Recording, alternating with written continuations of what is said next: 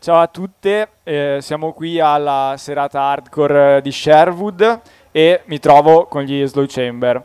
Innanzitutto, Ciao. come state? Bene, grazie. Sudati. Vuol È dire stato, che avete, è stato caldo. è stato avete fatto il vostro, caldo, sì. quindi. Sì, sì. Allora, vi abbiamo intervistato a ottobre al Metal Punk Fest e per il vostro show di debutto in realtà.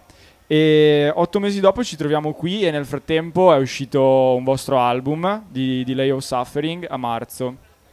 E Bravo, hai appunto- studiato. Ho studiato.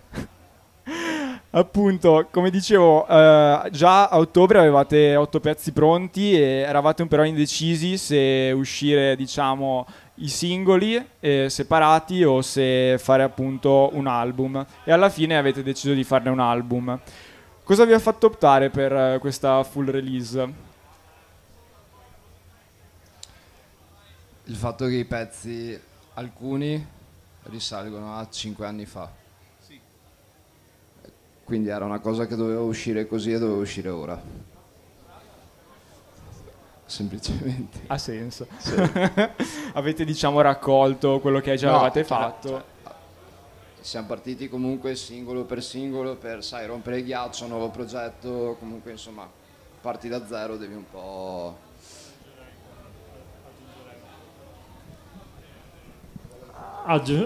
Aggiungerei anche il fatto che, che quando tu impacchetti un pochino la cosa da- dai anche una identità un pochino più raccolta alla cosa piuttosto che i singoli co- co- come prodotti sciolti ma hai un'identità insomma abbastanza precisa e, beh, e era una cosa importante per noi insomma questa cosa qua Assolutamente. Sì, comunque i assolutamente. pezzi da quando abbiamo iniziato a lavorarci, appunto, svariati anni fa, sono sempre stati concepiti come parte di un disco, cioè comunque come parte di un prodotto unico che parte da A e ti porta a B.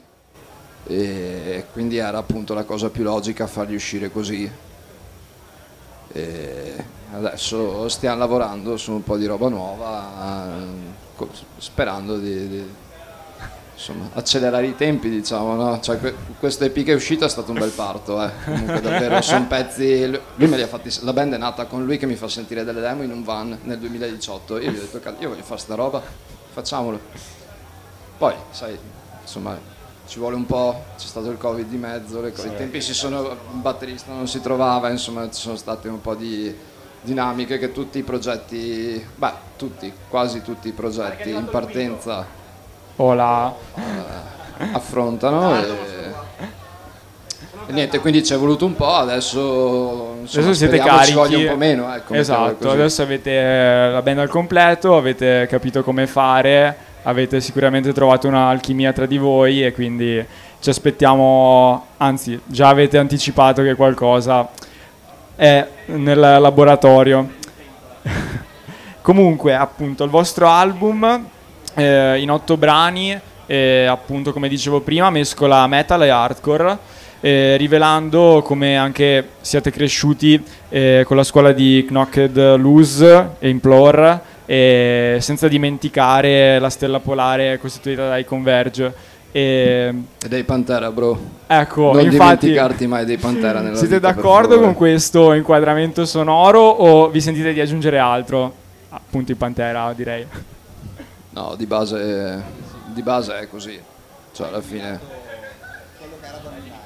Poi io, Sì, sì, no, ehm, effettivamente hai nominato, sei- cioè, non, queste robe non le hai lette da nessuna parte perché non abbiamo mai parlato delle band eh, a cui ci aspiriamo, però effettivamente hai letto bene le influenze, insomma. Sì, anche l'implore, insomma, se, se hai sentito l'implore effettivamente sì. E vabbè, ah, c'è, c'è da dire anche gli end, eh, in parte, eh, anche gli end, non so se, però comunque anche loro parecchio. Bene, bene. Mi fa piacere. eh, beccati. ma quindi, soprattutto i Pantera. Ma soprattutto di non, Non dimenticarti i non Pantera. dimentichiamo i Pantera. E, invece, eh, guardando alle copertine eh, dei vostri- del vostro album, ma anche dei vostri singoli, invece, eh, ho notato che sono molto curate, appunto, e che hanno sicuramente una impronta, direi, fumettistica. E in particolare eh, l'album mi ha ricordato, ehm, diciamo, cioè l'album è anche il, il singolo eh, Social Decoy e il disegnatore Gigi Cavenago eh, di, di Landog e eh, onestamente i primi due singoli eh, mi hanno riportato molto l'atmosfera Souls-like da Elden Ring, Dark Souls e compagnia bella e quindi eh, volevo chiedervi, eh, al di là di questa attenzione e qualità a mio avviso, chi è che si occupa di voi o insomma che collabora con voi di questi progetti grafici? Io. no, allora.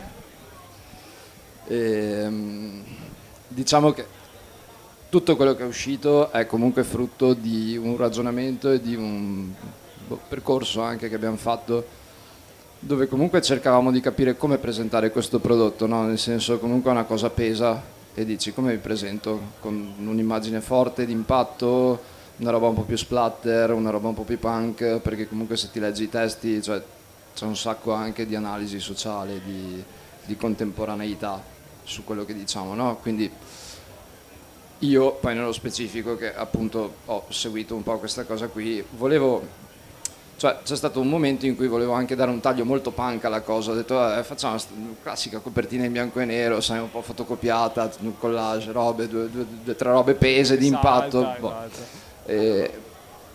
bella ma stereotipata a volte, dipende come lo fai, dipende cosa ci, cosa ci vedi. E niente, poi alla fine abbiamo mh, optato per qualcos'altro, insomma abbiamo scelto questa linea un po' pittorica, un po' astratta, così. E, boh, abbiamo cercato di dare un senso anche a quello che seguiva pezzo dopo pezzo, tipo no... Certo. Boh.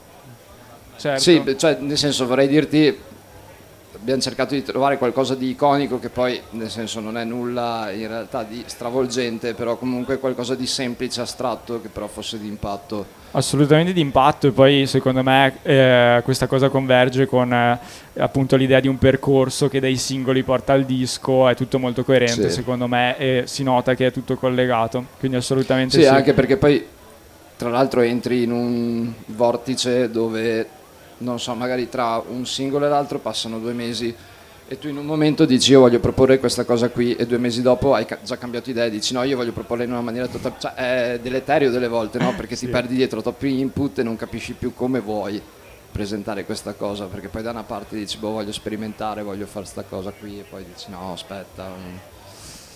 Boh, eh, vai, vai. Apprezzo particolarmente il fatto che hai dato come definizione, connotazione, il discorso dell'estetica Souls-like. Qualcuno ci deve sì, aver giocato. Poi tipo Dark Souls, Elden Ring, devi parlare con lui. Eh, non, eh. Cioè, guardi me, ma io non.